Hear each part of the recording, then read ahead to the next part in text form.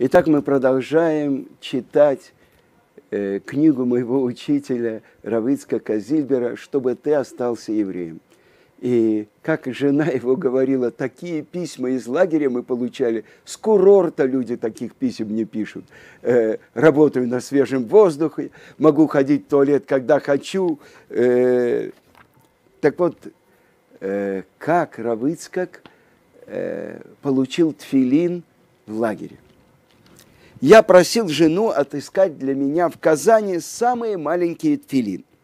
И вот в октябре жена пришла ко мне на свидание вместе с детьми.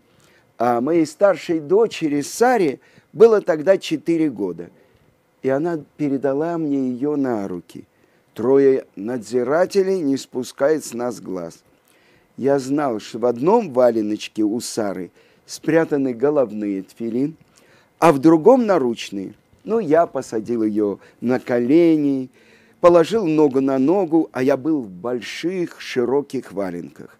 Держу дочку, играю с ней, и в это время снимаю с нее валеночек и переворачиваю ее прямо над моим валенком. И твилин падает из ее валенка в мой, и я загоняю его под, стоп, под стопу. Повторяю такое же со вторым валенком, готово, играю с ней, напиваю ей – свидание окончено, обыск, у меня ничего не находит. Следующая задача, где хранить филин? Обошел весь лагерь. А где я могу их надеть? Ну, ничего подходящего. Наконец, набредаю на барак, где в углу свала, свалена куча изорванных валенок. А пространство, Равыцкий говорил, 20-30 сантиметров. И отгорожено занавеской. Я говорю себя, этот барак приготовлен для меня Всевышним шести дней творения, чтобы прятать там тфилин. Иду к старости барака. Михаил Иванович, хочу переехать к тебе в барак жить. Ответ традиционный, что я с этого буду иметь? Ну, тут уж просто. Тебе положено мыть полы и приносить шесть ведер кипятка утром и шесть вечером буду делать за тебя кипяток и полы буду мыть. На то мы поладили. Теперь я мог прятать книги под валенками за занавеской. Но вот оставлять здесь на весь день филин я все-таки не решился. Вдруг это место решат расчистить. Итак, каждое утро я забегал туда, надевал там тфилин, а потом прятал их в карман пальто, а пальто сдавал в коптерку. Ну, что-то вроде камеры хранения, куда заключенные сдавали ценные вещи, часы, деньги. На утро в полшестого я брал пальто, надевал твилин, молился и опять сдавал пальто в коптерку. Что думали про мои манипуляции, я не интересовался. Из-за этого два года в лагере – я работал на улице в одном пиджаке. А зимы в Татарии суровые. Бывает минус 20, минус 25, а то и 35 градусов. Страшно мерзли руки и уши. Но я ни разу не простудился. Удивительная вещь. Выйдя из лагеря, я одевался тепло и все-таки подхватил воспаление легких. Вы знаете, что такое НОТ? Это научная организация труда. Хоть я и не специалист в этой области, однажды пришлось заняться и этим. Я взялся обеспечивать водой, таскать воду ведрами из проруби из реки Казанка. Как справедливо заметил Лукацкий, этот еврей из Одессы, работы было минимум на пятерых – но я старался справиться один, потому что мне это было выгодно. Я ни от кого не зависел и был доволен, что успевал до захода солнца в пятницу натаскивать воду, чтобы хватило до полудня в субботу. Оставалось еще от полудня до исхода субботы, и помогали заключенные за 3-5 рублей, пайку хлеба. Сейчас я вам процитирую любимое место Рамбама, которое часто слышал от Равыцкак. Это законы об изучении Торы, первая глава, восьмой закон. Коль иш иш Израиль, каждый человек из народа Израиля, беден он или богат, здоров или болен, молод или стар, даже бедняк, который просит по домам, и даже тот, кто обременен семьей, он должен найти время учить Тору днем и ночью. И до какой поры? Сказано, все дни жизни твоей. Великие мудрецы, которые упоминаются в Талмуде, зарабатывали на жизнь нелегким трудом. Одни носили воду, другие, как Елель, рубили дрова, но всегда занимались второй. И тут я тоже начал искать время для занятий. Я в лагере, но я обязан учить Тору. Кто мог бы такое подумать? Ты в лагере, ты освобожден от всего. Нет. Но как найти время для занятий? Если я ношу воду с половины шестого утра до половины восьмого вечера и прихожу в барак совсем без сил. И тут я подумал, вот это научная организация труда. Если я буду идти нормальным шагом, рейс с ведрами от реки до лагеря занимал час. А я попробовал передвигаться бегом. Вместо часа получалось 45 минут. Я стал бегать и носить ведра. 45 минут нес ведра с водой от реки к лагерю. На 15 минут забегал в барак за занавеску, где вы помните, спрятаны книга Мишнайот и книга Танаха. И опять бегом к реке. Говорят, чередовать физический труд с умственным очень полезно. Так я так чередовал. Работал я примерно по 14 часов. Значит, учился 3, три с половиной часа. Три с половиной часа да мне и сегодня трудно выкроить столько для учебы. Вы знаете, когда Равыцкак приехал в Израиль, он запретил себе изучать Талмуд. Как? Это же главное. Из-за таких, как я. Потому что он давал уроки везде, где собирались русские евреи. Как только ты к нему придешь, он тоже говоришь, ну что слышно, как семья, как дела. Для этого у него всегда было время. А для себя, я помню, как он усталый, после дня он был и в Рабануте, и давал уроки, и ездил, выяснял по поводу женщин, которым нужно разводное письмо гет. И когда уже совсем он был без сил, он открывал Талмуд – но там, где есть выводы из Талмуда Рабейну Ашера Роша, и читал, чтобы напомнить себе. И засыпал. Так вот, там я выучил наизусть Мишнайот Роша Шана, Юма и другие. Хоть сейчас в любом месте откройте, могу сказать наизусть. Это все осталось у меня наследство от лагеря.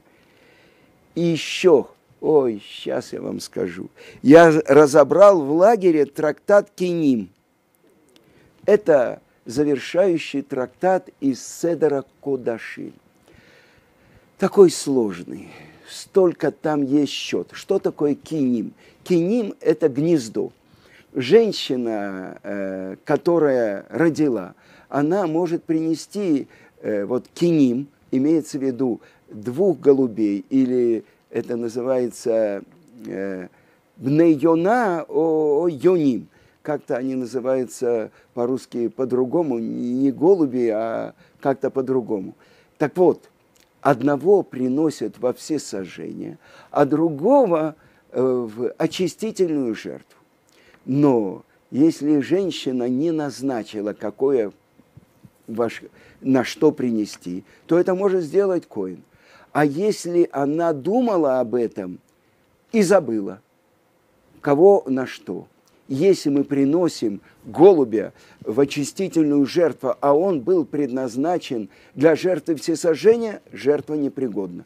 Потому что ола всесожжения брызгают до красной черты наверху, а э, хатат, грехоочистительное, внизу. А если несколько женщин принесло, а если они перепутались? Я знаю, что сейчас я учу этот трактат э, с одним моим другом из Москвы, и каждую строчку надо по несколько часов сидеть, обдумывать, какой будет вывод. Так вот это то, что Равыцкак учил в лагере и выучил. На воле я его учил и не понимал, а здесь понял. И он рассказывает, что э, это, этот барак, а там за занавеской было очень темно, потому что посередине барака была одна лампочка, причем тусклая, сороковатная лампочка. Было еще окно, но оно обрастало льдом и практически не пропускало свет. И Поэтому свет почти не проникал через эту занавеску, за которой я прятался. И так я долго мучился, пока в конце концов я не приобрел вот эту способность читать в темноте. Она у меня сохранилась до сегодняшнего дня. Иногда я э, демонстрирую ее своим ученикам. Выключаю свет, накрываюсь головой пальто или талитом и читаю. Причем места тоже там не было. Можно было держать книгу вот только так. Я не могу видеть, что написано в этой книге, хотя я ее читал много раз. А он научился читать. Я не знаю, как нужно прищурить глаза, чтобы что-то увидеть. Только так я могу увидеть. А он накрывался пальто или талитом и показывал нам – читал, а потом мы проверяли его. Это подарок с неба, который он получил. Тот, кто хочет делать во имя Творца, тот, кто отменяет свое желание перед его желанием, он отменяет свое желание перед его желанием. И поэтому Творец дает такие способности читать в темноте. Итак, бригадир Татарин был очень доволен моей работой. Кроме того, что я носил воду, я очищал территорию от снега и льда и вообще выполнял все его просьбы. Он был человек порядочный, и я был с ним откровенен. Давайте мне любую работу, все сделаю, но на Пасху два дня я работать не буду. Договорился и со старостой в бараке. Мытье полов и доставка кипятка на субботу и Песок отмечается. И что же сделал этот бригадир, отвечающий за барак. Он поступил некрасиво. В Песах зашел мой бригадир, и староста барака специально при нем предлагает мне помыть пол. «Давай помоги!» А я ему напоминаю, мы же договорились, что сегодня я не мою. А он поворачивается к бригадиру и говорит, нет, ты погляди, для нас с тобой нет праздника, а у Зильбера он что-то там празднует, работать отказывается. И тут бригадир ему спокойно отвечает. Да, ни у кого нет праздника, а у него есть. Он договорился со мной и все сделал заранее. Пусть сегодня отдыхает. И так староста остался с носом. Хотя я еще долго жил в этом бараке – и помогал ему мыть полы и носить воду, но никогда после этого я с ним не заговаривал. И вот кончаются счастливые времена. Новый бригадир назначен в нашу бригаду. Гайнулин. Я устраивался так с татарином, пока мой бригадир не вышел на свободу. И на его место назначили некого Гайнулина. Какой же вредный тип он оказался. Несмотря на то, что в воде недостатка не было, я заметил, что в субботу, как мы договаривались, я воду не ношу. И он это заприметил и решил заставить меня нарушить субботу. Расскажу только два случая, а их было много. В мою обязанность входило мыть пол в умывальной комнате. В пятницу я вымывал, а в субботу утром по договоренности пол вымыл мой друг, заключенный. Причем вымыл, вымыл очень добросовестно. Я ему потом платил 3-5 рублей. И вот приходит Губайдулин, Гайнулин, в 9 утра и тычет в пол ногой. Что такое? Грязь развели. И добивается, чтобы я сам пошел и помыл. Я опять нашел кого-то. Тот помыл. Гайнулин приходит в 12, спустя три часа и опять. Пол грязный, надо мыть. Я снова нашел помощника. Является через три часа, опять топает пол. Я нашел еще одного человека, который полностью вымыл пол. Так Гайнулин пришел в пять и снова топает ногой. Пол не вымыт. Тут я сколько не искал, нет желающих подзаработать. Что делать? Нашел я одного русского старика, лет под 70. На фоне других этот человек более не менее был приличный, верующий. Лежит бедняга, больной, без сил. Я прошу его, выручи, пожалуйста. Ты ведь знаешь, я в субботу не работаю, а бригадир заставляет получишь все, что скажешь. И он больной поднялся и вымыл пол. И вот второй случай. В ночь с пятницы на субботу, часов 12, меня вдруг будет. Пришел Гайнулин, еще с одним заключенным и с двумя лопатами. Что, Зильбер, спишь себе? А завтра с утра, между прочим, комиссия приезжает сам министр внутренних дел из Москвы, а на территорию Уймахлама надо убрать. Вот вы вдвоем и идите. Площадь большая, но за ночь управитесь. К шести утра, чтобы все было готово. Ну что тут возразишь? Да у меня нет такой привычки спорить. Одеваюсь, иду, а на улице мороз за тридцать и метель снег прямо колет лицо. Лопатой нес напарник. А я вот что сделал. По природе я очень стремительный, нетерпеливый. Всегда тороплюсь и действую быстро. Но тут я усмирил свое ецерара, дурное начало, и стал тянуть время, дожидаясь, пока Гайнулин промерзнет и уйдет. Пришли на место – Бригадир показывает, как и что. Ладно, говорю. И не спеша завязываю ушанку. Потом начинаю застегивать пальто. Тоже очень тщательно. Холодно ведь? Так, рукавиц нет, надо и найти. Суечусь, ищу. Ой, нашел одну, а второй не хватает. Короче, минут за двадцать он дошел. Метель была не шуточная – а когда он ушел, я повернулся к этому второму и сказал, поможешь? Перед уходом этот бригадир буркнул, чтобы с шести утра все кончились, и удалился. И я очень просил второго, заплачу сколько скажешь, только сделай всю работу сам. И вернулся в камеру. Конечно, все оказалось сплошным враньем. Никакой министр не приезжал. Гайнулин это выдумал для меня. А потом он придумал что-то похуже. Разнюхал, видно, негодяй, что я за занавеской что-то читаю. И вот было общее собрание. Э, Гайнулин отчитывался за чистоту территории и снабжение водой. В смысле воды и чистоты сейчас все в порядке. Одно нехорошо. Не могу заставить Зильбера работать в субботу. А начальство, как услышало, расшумелось. Что это Зильбер себе воображает? Он что, в Америке или в Израиле, или в трудовой исправительной колонии в лагере в Советском Союзе? Что это значит не работает?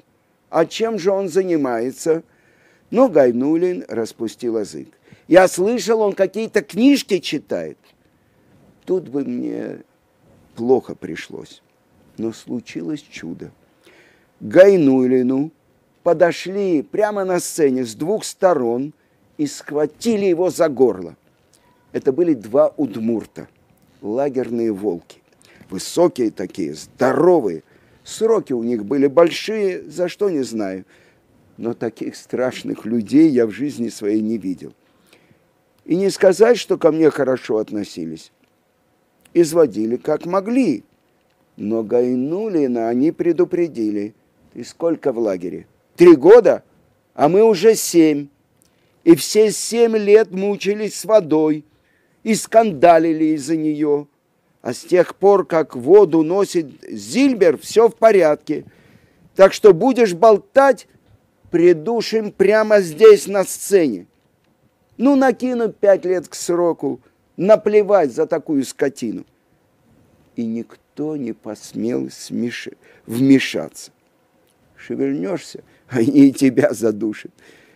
Ну, Гайнулин перепугался, сменил пластинку, и все как-то замялось. Как видели, нельзя сказать, что в лагере царили дружелюбие и добрые нравы но один из уголовников, некто Уваров, делал мою жизнь просто невыносимой. Порой я даже впадал в отчаяние от его злобных выходок. Это был человек лет сорока, с э, опытом нескольких отсидок. Почему он так стремился сделать мне зло, не знаю. Но это и не важно. Заметив, что я так дорожу своим закутком и моей занавеской. Он сломал балку, на которой держалась занавеска. Это было ужасно. Негде стало учиться, негде молиться. Уваров занимался ремонтом инструментов. И вот вместо того, чтобы починить вещи, которые я ему приносил, он передавал их начальству, мол, Зильберу выдали, а он сломал и выбросил – или ломал мои метлы и лопаты и закидывал обломки на крышу. Короче, искал любой возможности мне навредить. И вдруг в пятницу подходит ко мне Уваров и говорит, слушай, ты ищешь людей, чтобы для тебя в субботу носили воду. Больше не ищи. Я буду носить для тебя воду каждую субботу. Ты только ключ от умывальника повесь вот здесь, а я открою и все сделаю. Кто-то из евреев, услышав это, пошутил. Думает, видно, что ключ мукцы – запрещенная в субботу вещь. В шаббат нельзя к ней прикасаться. И Уваров выполнил свое обещание. Вплоть до моего выхода из лагеря мне ни разу не пришлось просить кого-нибудь принести воды. Вода всегда была принесена, и пол вымыт. Ну, я, конечно, платил ему, как другим, 3-5 рублей за каждый раз. Но от чего Уваров так изменился? Я об этом не спрашивал. Но другим заключенным, евреям, было интересно, было любопытно. Оказалось, что его во сне предупредили – что если он не хочет себе беды, он должен не вредить мне, а наоборот, помогать. В моей жизни было два таких случая. О втором, то, что произошло с учителем Ахмановым, я еще расскажу. А про Уварова есть еще одна история. Ну, я расскажу сон произвел на Уварова такое сильное впечатление, что он даже однажды пошел на мессирут нефиш, буквально на самопожертвование с риском для жизни. Заключенным делали прививку. Опытный зэк Уваров полагал, что этот укол может быть опасен для здоровья. и категорически отказывался от прививки. Его уговаривали, ругали, угрожали карцером, он не отступал. А когда процедура уже заканчивалась, вдруг он подошел и говорит, ладно, делайте. Его спросили, а о чем ты раньше думал? Почему ты сейчас согласился? А он объяснил, я вспомнил, завтра суббота. Он не хотел попасть в карцер, потому что тогда некому будет мыть полы и носить для меня воду.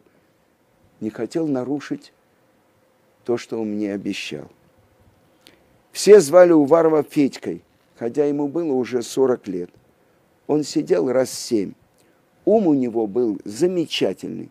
Голова работала просто невероятно. Умнейший человек. Все понимал. И в людях, и в отношениях между людьми, и вообще в жизни. На Песах я продавал мой хамец Уварову. Все дни Песаха нельзя есть продукты из кислого теста, но и владеть ими нельзя. Их можно заранее продать не еврею. Что мы и сделали? Отдали Уварову все наши сухари. Я ему объяснил. Нам не, нельзя будет в течение восьми дней пользоваться хлебом мы тебе его продаем. Все, что у нас останется к началу праздника. Денег у него не было, я ему дал полтинник, он отдал мне его как задаток, и все было продано по закону. У Варова уже мы отдали и весь наш восьмидневный хлебный паек за 15 человек. Он, конечно, был рак. Так он помогал мне почти полгода, пока не вышел на свободу.